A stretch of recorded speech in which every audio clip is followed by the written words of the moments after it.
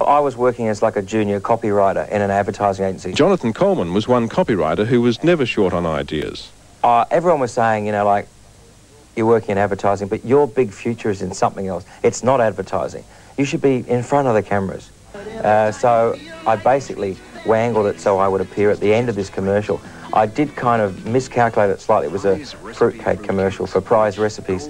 And uh, they used that, oh, never ever on a Monday or Tuesday, that song. And then I was right at the end of the commercial, dressed up as a little choir boy, and I said, Even on Sunday.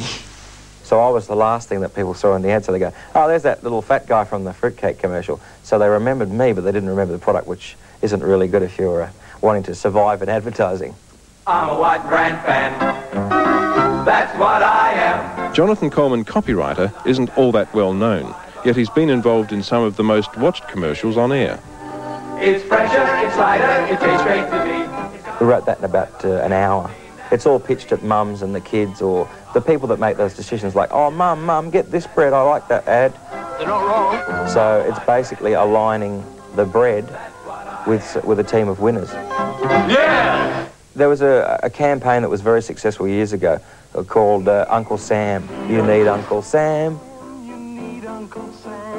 And that was written over lunch. I I think the account executive actually came up with it over lunch. A lot of good ideas happen after the second or third bottle of wine. I've written a couple of things on, uh, on like serviettes and you give them to the lady at the agency and you say, could you just type that up on our letterhead because it's pretty uncool if you present, uh, you know, like napkins and things to the client.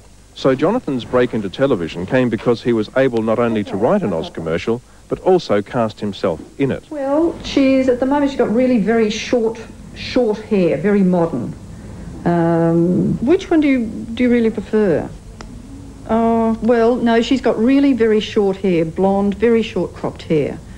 Whereas um, Lisa, the other one, no, she's got soft, sort of dark hair. I mean, they're both capable of 100%, so I mean, there's no worry with that. Now, what's what's the run? 12 months national? Oh, I think you're looking about four grand, four, four to six grand. Just depending on who you get, really. For casting agent Pam Stockley, life's a wall of headshots and series of phone calls dealing with ad agencies. Oh, well, leave it to me. I'll just uh, organise negotiating a fee and um, all of that sort of stuff. You get a script, you look at the script, you're briefed by the agency, briefed by the director, and it's, it's a matter of getting people in. I usually go through a formula of, of trying to sort of sift them out by giving them 35 mil stills first, and they say, yes, we like this sort of person, that sort of person, fine. Uh, then screen testing, and hopefully they'll say, yes, we like one person, or no, we hate them all. So you back to the drawing board and you get more people in. It's just a matter of elimination until you find somebody that they like. Yeah, so what are the guidelines that you keep in mind when you are casting? Uh, to always try and find someone fresh and new, because that's what they're always looking for. They want, you know, somebody 35, great presenter, but never been seen on television before. Ho hum.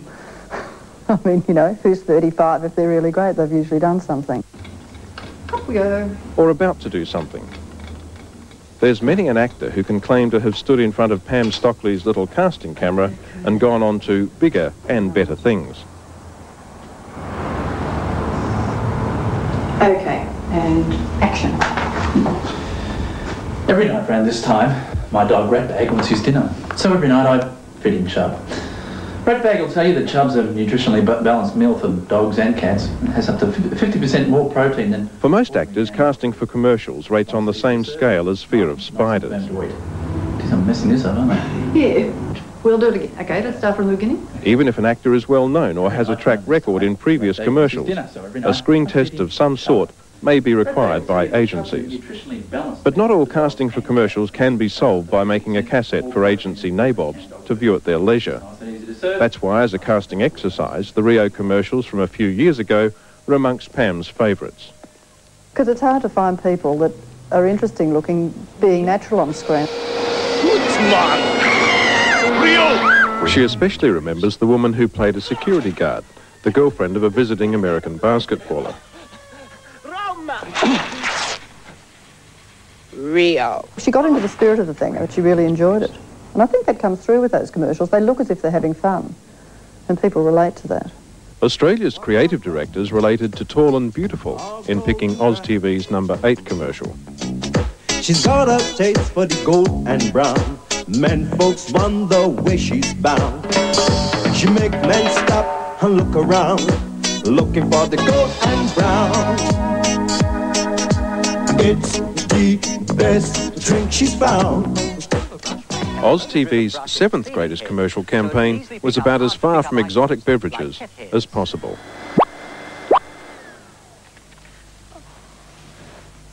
That's why Hoover is ahead of the rest. The push-button Hoover Premier can handle a whopping five kilos of washing. The competition can't. That's why Hoover is ahead of the rest. Many of the oldies have been the goodies, and the staying power of some commercials and their jingles is amazing. Those such as Vegemite are like the good black and white movies of yesteryear. They come back for a rerun or colorisation. Ads like Vegemite, Louis the Fly, Mr Sheen and Sorbent have been around since the beginning of Australian television, yet they've been sent out to work time and again in different forms. Take it away, Tully! What's the gentlest tissue?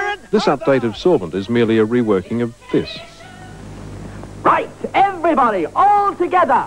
What's the gentlest tissue in the bathroom you can issue? Why, it's Sorbent, Sorbent safest for sure. Sorbent's economical, its sales are astronomical. Buy Sorbent at your favorite store. Every powder puff soft sheet gives gentle comfort, absorbency and strength. And there were variations in between. Here's the biggest selling brand of toilet tissue in the land. Soft, strong, gentle Sorbent. Mothers who care know that only Sorbent is soft, strong, gentle. Best for all the family. There's even been an operatic version.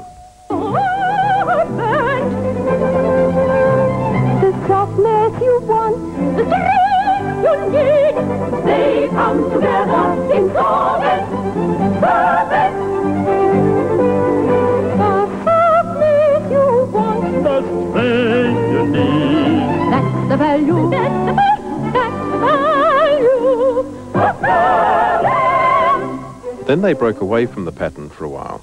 It stands. A silent sentinel in a million backyards with Sorbent toilet tissue at the ready. Sorbent's also very strong. Softness and strength make Sorbent rather special. But more often than not, the tune, though stylized, remained in the background, just waiting for the chance to be sung again in 1988 by a cast across Australia.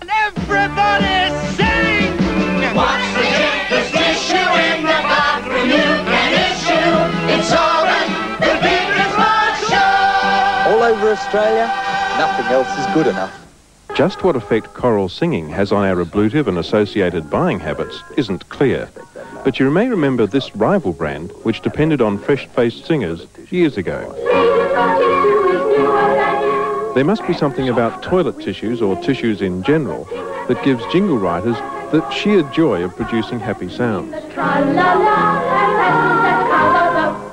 But Don Willisey broke the mould when he decided to talk to a tissue in 1977. And you're very good value. Well, we've always been good value, and now with the improved softness. And gentler and better than ever for beautiful faces and tickly noses. Thank you, Scotties. Thank you.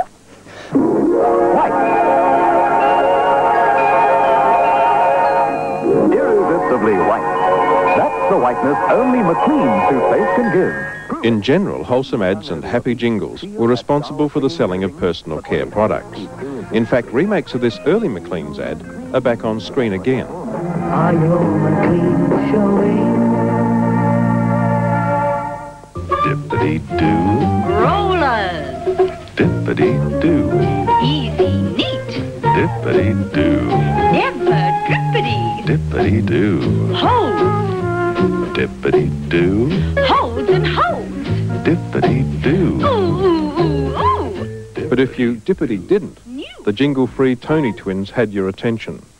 Which twin has the Toni? You can't tell? Nobody can. Not yet, anyway. But wait.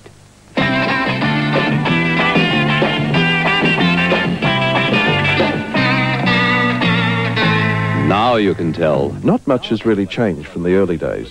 There's nothing to show that today's ads sell any better than the oldies. Costs have soared and technology has made some things easier. But as they found out on the Shell Ultra shoot, even today's technology can't stop rain. It's the natural enemy of commercial production. God, I love you, Rick. You're just, it's just Pollyanna.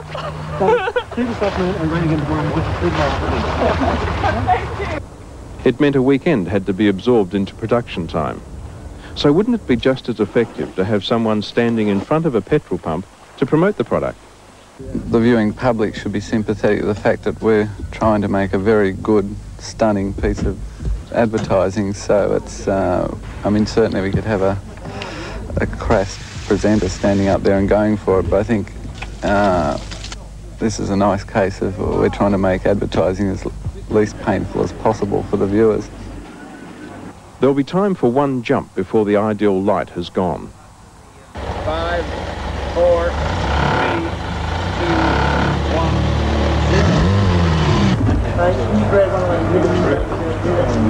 The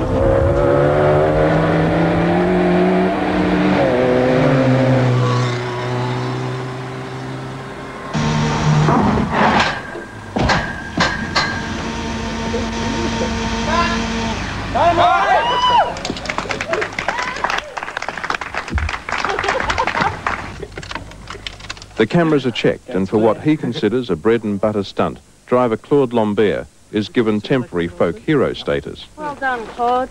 Very good. After days of delays, members of the crew are eager to agree they've got a good take in the can. Could be a good look. It's been a long slog in order to film the underside of a pre-owned Celica. As it turned out, problems other than weather meant the whole lot had to be reshot anyway. Perhaps Shell Ultra was never intended to find a place in the great commercials, unlike the Apple computer series, which took the art of subtle advertising to a new high. How'd you get the extra budget, Frank? For what? To get it looking like this? No extra budget. Did it all on computer. What? One of ours?